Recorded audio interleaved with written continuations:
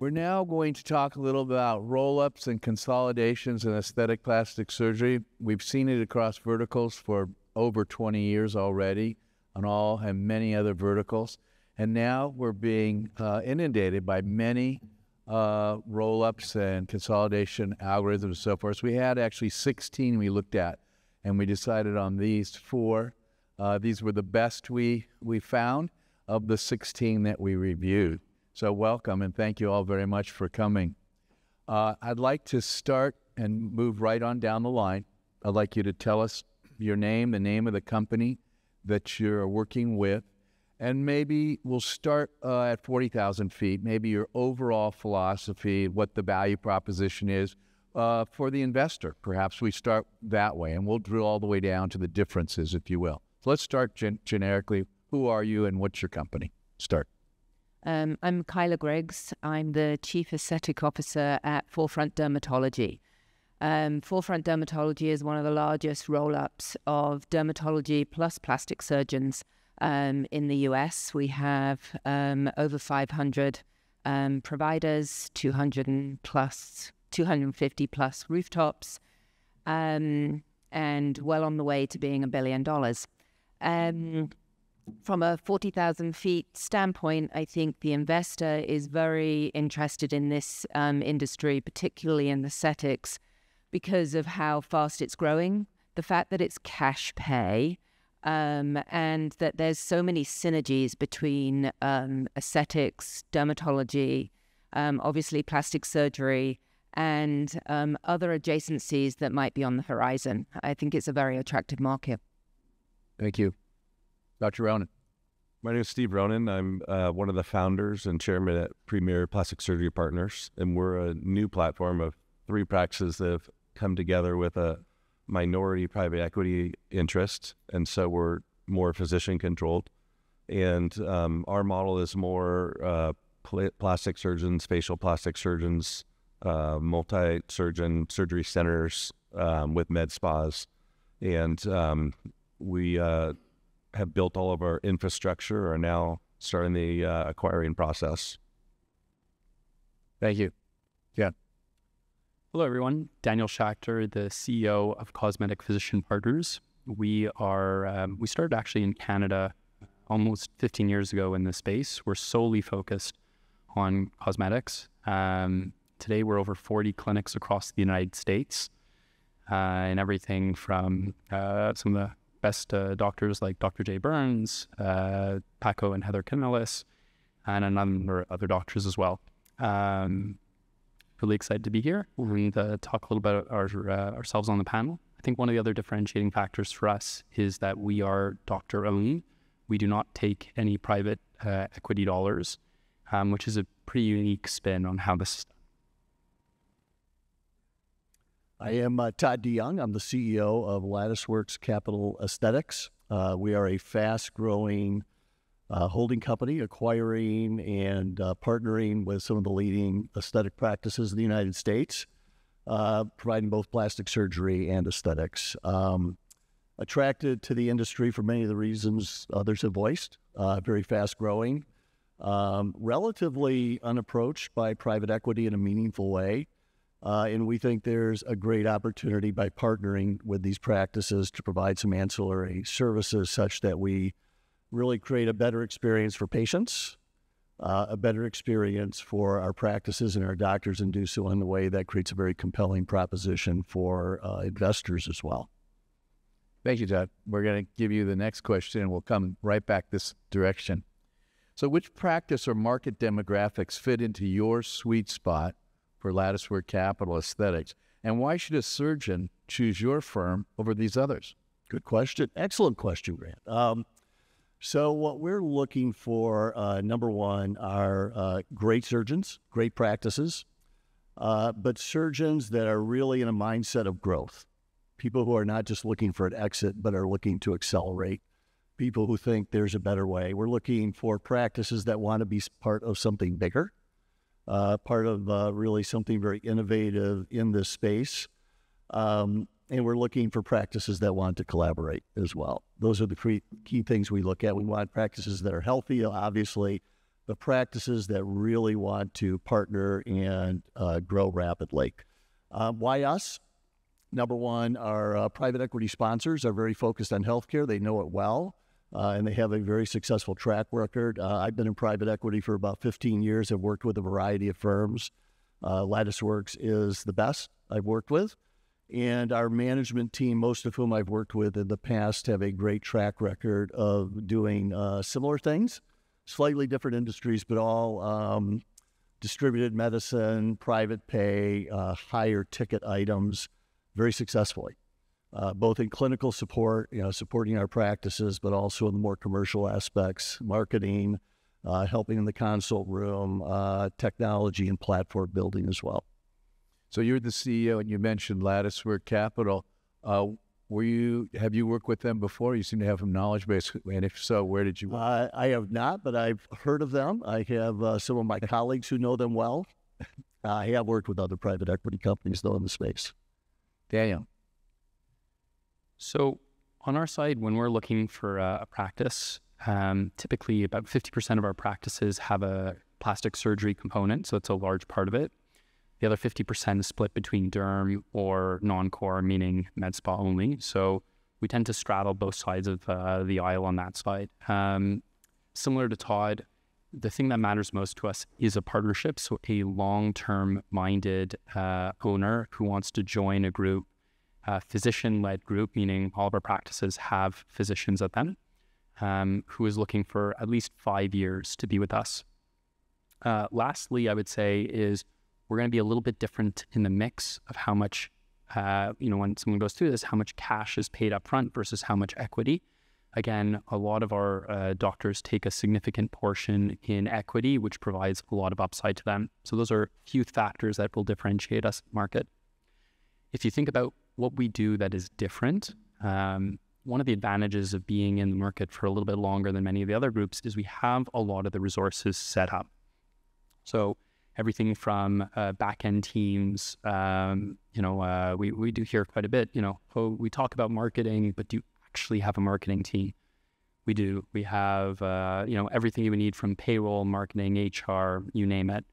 Uh, number two is the community side. Um, at a certain scale, we now have a lot of community activities, whether that be uh, online tools for people to communicate, all the way up to uh, in-person gatherings on a yearly uh, basis. Um, even just as an example, tomorrow, a group of 15 doctors are here today. We're all going to be joining up. So that community side is another place where we really stand out. So if you're looking for partnership and ownership, as well as that community aspect, CPP is probably a good place for you.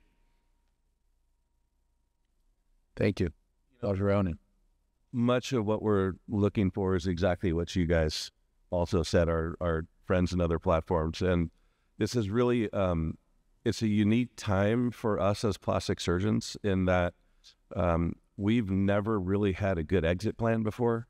Um, it was bring on a junior partner and take some tiny fraction of what you uh, invested in your business over the years back, and um, it's it's very exciting for us to now be part of some some value creation and um, having a return on our investment um, from all the hard years and, uh, and, and everything that we built in our businesses. And so we're looking for partners, um, much the same, uh, heavily surgeon, um, also with med spas um, that want to work at least through a next transaction.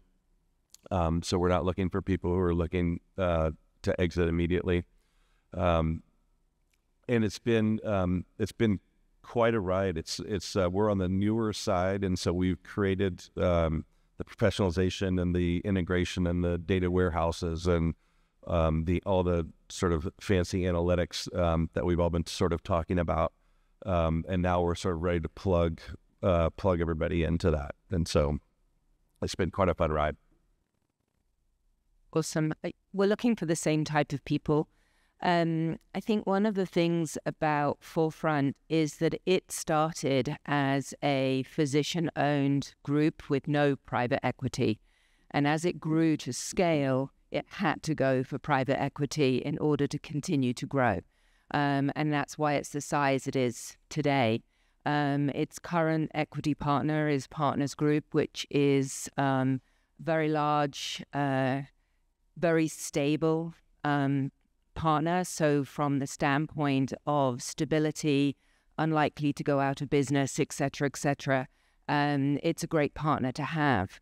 The other thing about Forefront is that it's kept its physician ownership autonomy mentality. So we have um, physician boards, we have physician partners. I have multiple physician partners that I work with on an everyday basis. So we're really looking for board certified physicians that want to join and have a leadership profile within our organization to help us go to um, the next level and to continue to grow. Like my colleagues here, I think we don't want people that want to exit in a couple of years. We're really looking for long term partners. But having said that, we also want partners that are um, honest about what they want. So if they are looking to exit at some time, then to partner with us on succession planning and we have a whole infrastructure for being able to identify physicians, etc., that can join us. Um, we have really two types of physicians those that are partners that we have um, partnered with in an acquisition model, but we also have a significant portion of our physicians who are employed physicians. So we have a very good team at, at hiring and bringing on physicians that don't maybe want to build their own business and put all that capital out and want to use the capital that's available in our organization in order, order for us to pep and partner with um, our already acquired physicians to make them larger and bigger. I'd say we're also looking for physicians that are entrepreneurial in mindset and want to grow um, and leverage the capital that is available from Partners Group in order to do um, M&A or de novos, et cetera, et cetera. So it's pretty much a very broad scope. I, my advice to you would be know what you want um, and then come to the table with a very clear idea of what you're hoping to get out of the partnership. And it's much easier for us to then customize either what we can do or be very honest about what we can't do and exit the process. That's as valuable to you as it is to us. Thank you. How long has Forefront, Forefront been in practice, if you will, or been in existence? A couple of decades. Is that right? And how many physicians do you have in Forefront? We or have, practices, however you want to express it. How large is it? We have 250 roof, rooftops and over 500 clinicians. And what percentage are derm versus plastics? Oh, much higher derm. We're primarily derm right now. We purchased um, and had four plastic surgery organizations join us in the last 18 months. And what percentages of the derms are medical derms versus aesthetic derms? We are around, well, majority of our derms do some form of aesthetics. We have um, probably a third that are more than 50% at aesthetics. Yeah. And we have several that have partners that are aesthetics, derm, plus plastic surgeons. And what about med spas? Does Forefront embrace med spas within the practice, or what's the concept there? We have um, a couple of standalone med spas. We only tend to embrace those that are physician led or already physician um, run and owned. I'd say our philosophy is very much about making sure that it's a physician led organization by board certified physicians um, versus that are in the um, specialty of plastic surgeon or dermatology. Are you, and you look ahead for Forefront, are you thinking of adding more plastic surgeons? Is that on your plan? Yes, that's why I would be here. Yeah, well, that's what I wanted to ascertain. That's exactly what I wanted to determine, let everyone know. We love our plastic. Don't worry, you're all going to get the same variation of those questions. We actually have um, we have a physician board, plus we have a dedicated medical aesthetics board and a within the medical aesthetics board, we have plastic surgeons on those boards. Our plastic surgeons are involved in the whole M&A process. So they, if we do identify a plastic surgery that we would like to partner with, we have our plastic surgeons involved in that process so that it's colleagues to colleagues um, communication. Okay, I'll come back to you. Steve, how long has your organization been in existence? Uh, we've been in existence for about 10 months. And you and how many physicians or practices do you have? I think you mentioned a moment. We have three practices and seven physicians. okay. Yeah. Um, and are you open? Uh, you're primarily eh, right now. It's three. So are they all plastic surgeons? All we have two facial, and then I'm a plastic surgeon. And do all three of the practices have a med spa? Yeah. Oh, yeah. All of us have a pretty healthy. So in terms of your management um, skills and offerings to the practices, you also help with the med spas, I assume. And do they all have surgery centers? absolutely two two of the three of us have surgery centers. Um, definitely, I think it's something we want to we value is having your own surgery center. Would you know, or would you care to share with us what percentage of your gross revenues drive from med spas or non-surgicals? Um, probably about thirty-five percent, forty percent. Okay. Yeah. I guess it may be beyond the scope to ask you about your gross revenue. I was going to ask you, but I suppose that's probably proprietary. Maybe Dan will share his. I know his, but well, I know from my program that he was on. Dan, how long has CPP been around? So the the U.S. entity has been around since 2021, so just over uh, just under three years right now. And uh, are you agnostic as to what aesthetic providers join you, or are you pr- primarily plastics or derm or facial? What's your approach there? Yeah. So we, we have a very strict no asshole policy. So that is that is the differentiation. I guess I'm out. It's a good one. It's good.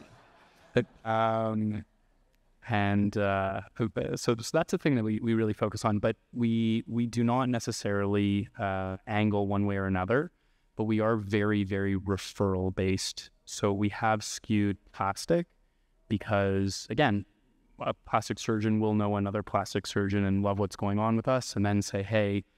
My friend XYZ, I think would be a great, um, great practice to join the group, and vice versa. So, we're 50% plastic surgeon focused, and then we have um, about 20% derm, and then the remaining 30% is non-core uh, physician. non-core physicians. Now, how do you go about vetting them? You said the referral process is from within and your your members. Yep. And I've heard about that. How do you go about vetting and then is it tr- is it true you have a vote amongst your owners and members and it has to be unanimous? Yeah, yeah. So a great question. Uh, every single practice that joins, so we do a board meeting once a month. All of our doctors, as the primary shareholders, are part of that board meeting. They all have veto over every single practice that joins, um, which is an important distinction for us. How many pla- how many doctors are on that board meeting? A little over 40 these days. So you're hurting a lot of cats and you're telling me that it has to be unanimous? Has to be One unanimous. one outlying vote against a practice from across town or something would Yeah. completely Yeah. veto it? You know what it, it, you would if you think about it at the end of the day we're all trying to achieve the same thing here we want to make sure that the practices who join are good practices that our constituents which is our shareholders whether it be private equity or other doctors are going to also be successful right you don't want to bring in a, a, a bad fish or a bad egg into your group because that that will taint the rest of the group so everyone has the same motivation. And as long as we're all very clear on the motivation and asking why, it tends to go over very well. But in fairness, three to four times a year, we do get uh, a practice that on paper looks great, but for uh, a cultural reason might not be a great fit. That's typically the reason why, and those practices are not uh, not invited to join. Okay. Um, Todd, same sort of questions. How long has uh, the organization that you're working with been in practice, which I refer to as Latticework Aesthetics, Uh, as to the A word? But how long? How how's what's the size? If you care to sh- share the gross revenue, that's fine, but you don't have to. But the number of practices or practitioners, either one. How big are you? How old are you? Type of. been in uh, place a little over three years. Um, we have just under 30, you know, 25 ish doctors. Um, I can't give you all the numbers, Grant, publicly. That's always a dangerous thing to do in a forum I figured this. some. But um, we are primarily plastics oriented. Uh huh. Um, less than 20% of our revenue does come from non invasive treatment, but we think that's a big opportunity as well. There's no question about that. I would encourage you to pursue that. Okay, I'm going to start back with you, Todd, and work back this way. I'm going to change the direction a little bit. Um, kind of uh, why should a physician join you? But I'm twisting a little bit. What are the advantages? So, as I talked to Dr. Ronan earlier today, obviously, when a person uh, sells their practice to you or becomes a partner with you, They can take back equity, they can take back cash, or they can take back debt. That's basically the deal, right? So, can you share with us what Latticework Capital's overall structure is? I'm sure it's dependent on the deal, but if a if a person's looking at you and they're thinking, why should I join Latticework versus any of the other ones here? Yeah. Can you give us a flavor for do you have debt, equity, and uh, uh, cash, or what's your approach? Yeah, it's primarily equity. Okay. Um, the thing we strive for in all our deals, and to your point, Grant, they're all a little different, is alignment. You know, we want to make sure the deal is such that everybody's aligned uh, to do something better for patients, uh, to do something better for investors, uh, but also to do something better for themselves and the holding company. And that means collaboration and their incentive to grow. Uh, and so it's a multi-pronged uh, uh, model where they can retain local ownership, want them incented to run their practices as well, if not better than they had been, but also get the upside of being part of something bigger, not only financially, but being part of a bigger, uh, more cohesive network of doctors, uh, premier doctors that they can work with, uh, research together, do fellowship programs and things of that nature. Mm-hmm. Okay. Dan, care to tell us what you pay uh, pay people to join you? Yeah. sure. I mean, Go for it. You told them on my on my show. Yeah. Might as well share it I again. mean, It's public now. it's public now. I mean, if any group is underbidding, shame on them. I think that that's that's not fair to the group. I mean, typically these days you see ranges somewhere between six and nine. It's kind of funny having a dog on stage with you, but very cute dog. It's kind of cool. Yeah, it's kind of comforting. Um, so six to nine is typically where the range. That's it's a multiple. Uh, for those unfamiliar, you multiply your EBITDA by that number, and you get generally the valuation. Just as a sneaky note, everyone will have a different EBITDA. So everyone focuses on the multiple, but the EBITDA is just as important to focus on in a multiplier equation. So, you know, typically six to nine is, is the right range. If you're very heavy surgical, generally the number is a little bit lower. Um, that's because it tends to focus on fewer people, hard to replace a doctor. If you're more med spa, typically we see that range ratchet up. If you have more locations, larger size, again, that range ratchets up. So anyways, that's that's kind of the high level in terms of the pricing that's done. Um, in terms of you know how we're we're oriented or, or thinking about the the purchase side there, um, for us, if you're joining, you're joining. It isn't a JV. Some models are more like a JV. I, I don't know. I'm not trying to to steal, but you know, it sounds like you guys have uh, where the doctor retains ownership of their own four walls. The way that we structure it is, you join 100%, um, but you get shares in CPP or the the mother mothership, as some people call it, and that means you have just as much ownership in Dr. J Burns's practice as Dr. J Burns has in yours, and vice versa. So that's uh, that's our model, um, and it's typically about 50-50 in terms of equity and cash upfront, which again is quite unusual in the space. If let's say you're a doctor and you're looking to sell, you'll see ranges anywhere from 50-50 all the way up we've heard to 90-10, meaning 90% cash, 10% equity. We call that a buyout. That doesn't really align the incentive between uh, the person who's selling everything in cash and shares. But again, depending on what you're looking for, that might be more what you're looking for, or you might be looking more that equity structure.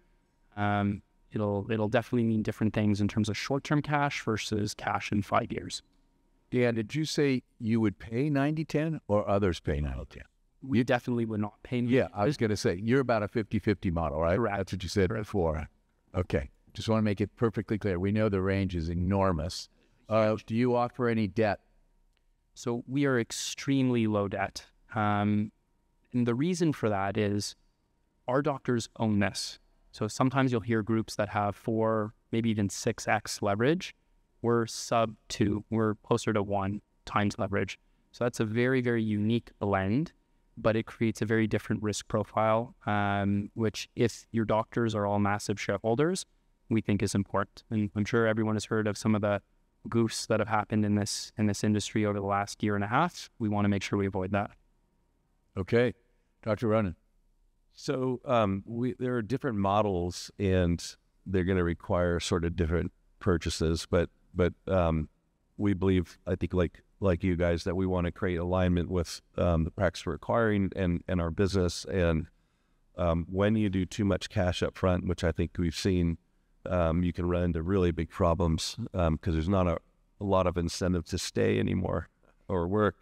So you might go do something else, um, and that can really hurt your business. And so we're we're sort of more of a balance between cash, debt, and and equity, and um, we'll do and and this is modifiable, of course, but we do around a third cash, around a third uh, a note held by who we're acquiring, and um, and that's sort of more of an incentive to to make sure they're sticking around, um, and then about a third equity, and so um, in our discussions, we're finding that to be a pretty pretty balanced model and um, pretty acceptable to the physicians and creates um, quite a bit of alignment because we're essentially all going to go to the same place, set of eyes to go to the same place. Okay, Michaela. So, not too different. It tends to be customized to the individual partner that is joining um, the organization. Um, we generally do a mix of um, cash and share, and the amount of shares um, uh, or amount of equity um, really varies depending on um, the partnering physician or the partnering owner as to what they would like um, in the process. So, the similar range 50 50 can be yes, we can go much to the higher end, particularly for physicians that are looking to do more of an exit and not wanting to stay. They may want to push to the higher end. Um, we are normally looking at organizations as to what is the um, succession plan, who are the other partners, how many do you have in your organization, so that we do have some safety for um, the forefront side of the partnership. Um, and we normally have some form of um, delayed payment um, of a period of time in order to protect for the downside of suddenly stopping work um, once you've uh, partnered with an organization. Um, so, as a real mix, we have very low debt. We are way down in the very low single digits, have the sim- very similar philosophy. Um, we want our physicians to feel very secure. Um, and I believe at our size, we can do that. So, if you allow or accommodate for physicians who disclose early on in the negotiation process that they want to uh, have a, a, smaller or shorter duration, maybe two, three years before they're done, do you pay a lesser multiple when you're doing your valuation? Um, it depends. Okay, that's fair. generally do less than five years, um, but we can do it. Really depends on the mix of the clinic um, and how we believe the succession plan or how the other colleagues of that practice can help support. So it's very customized. Um, we'll also tend to be very honest if we can of not for us um, when with too much risk. So we try to have those conversations um, as early in the process as possible. Okay. It's better to be honest, I think. Um, then there's, uh, you know, because once you've sold um, and joined an organization, it can be a little bit of a shock um, to the system because you're so used to being on your own, having to make every single decision on your own, having a lot of autonomy. We very much don't want you to lose that autonomy, but have the safety net of all of the back office infrastructure. But at the same time, when you're used to being having a lot of control, losing that control can sometimes be um, hard. So it, it's better to have those conversations up front to know what you're getting into. I bet. Well, in an effort to get back on time and get to lunch, I, I still have another question for you, but you're going to lead it. But this will be the last one, unless unless I have to press and ask you something. But um, what what would your comments be to physicians in the audience as to how to prepare for uh, this type of thing? Uh, what's your advice to them or to industry? It doesn't have to be just to physicians, but uh, I would say to the physicians. And what final words might you have why someone might consider, say, Forefront or whomever, each one of yours? Final closing comments. You can go ahead, Michaela, and start if that's all right. Yeah, sure. Okay, well, we'll. So um, I think I tried to give um, little bits of advice throughout the um, comments. But I would say the number one thing you can do to help yourself is really understand your business and understand your finances. Um, You know, if you need to use a banker, then that's great, but they are going to take a slice of the pie. So if you understand your own financial health and that that, that really is a, a leg up for you. I think also deeply understanding why you want to partner. Um, and in my humble opinion, just wanting the money is not enough of a reason to partner with a group like ours. That there has to be more to it because we're looking for those partners that want to partner and be leaders in our organization. Um, and I would also say have as many transparent conversations with your colleagues. Um, I actually have been in equity before in a different industry. Um, and that group sold because they didn't like each other. And it was a really bad reason to sell. Um, the partners that we have that do really well are very collegial. They understand their organiz- their own group. They like their colleagues, and they also like all of the colleagues that they work with at Forefront.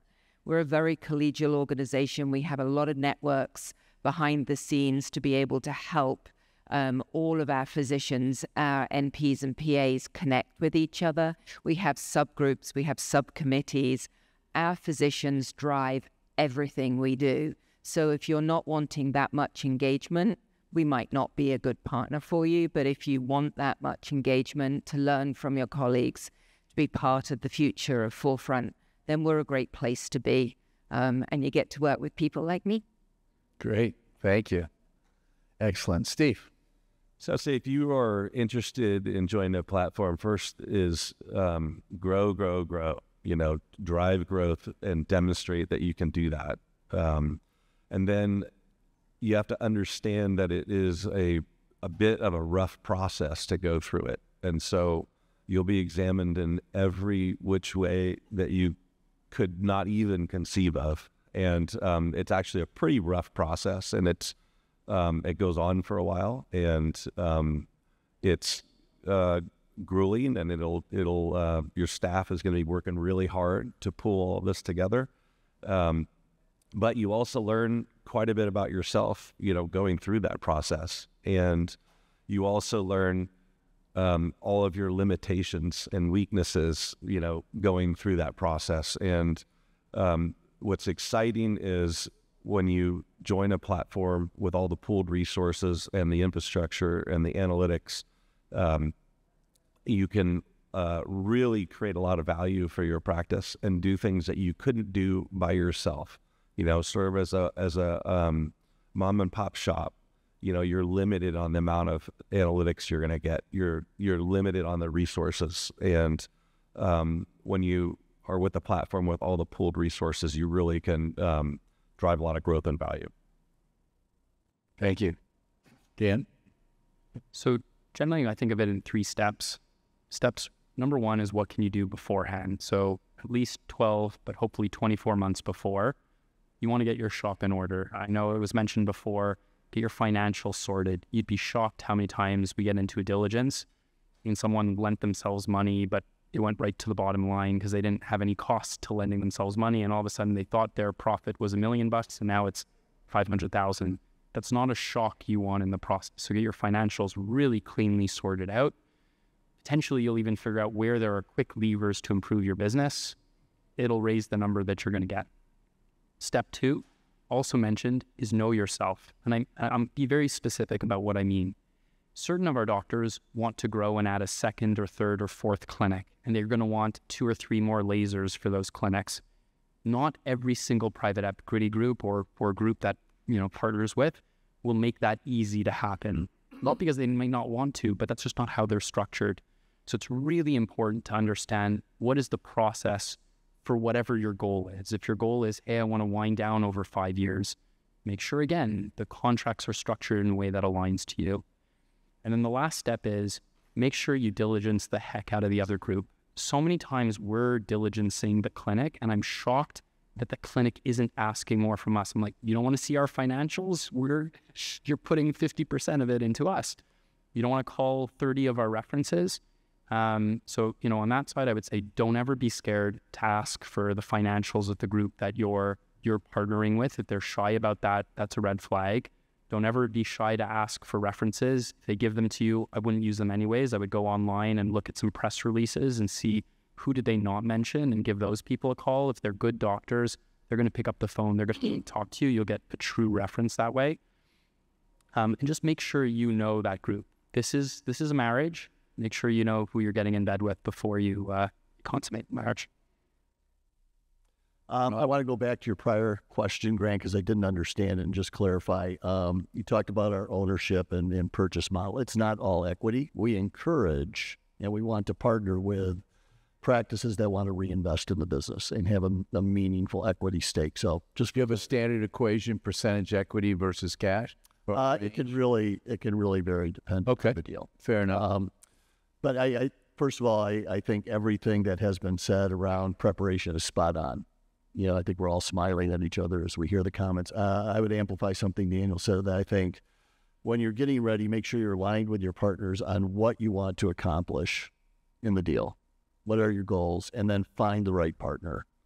Um, you know, I, I, deals fall apart because people aren't aligned on what they want to do, or they attract the wrong partner, and that is that's a you know prescription for disaster. So really be intentional.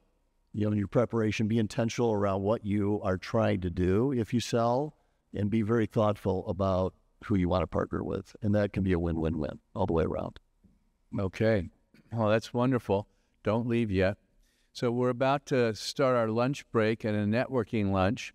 And I want to encourage you to get your food and come here and network with one another. Check out our vendors and our sponsors and our supporters who allow us to have this meeting and enjoy your lunch. It'll be about 45 minutes or so.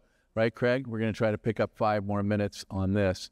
Uh, but I want to give you, all of you, oh, you want to say something? Yeah, just just one last thing is what we didn't talk about is what's the exit plan for all of our platforms, and so that's typically like the next transaction, right? So a larger group comes and gobbles up um, a few of us, and so what I'd like to say is that I want all of us to do well because you know the rising tide floats all all boats, and and what we don't want is you know some of the failing platforms. We want all of us to do well because if if a high percentage of us are doing well, then that's going to facilitate the next transaction, and that's where we're all going to win.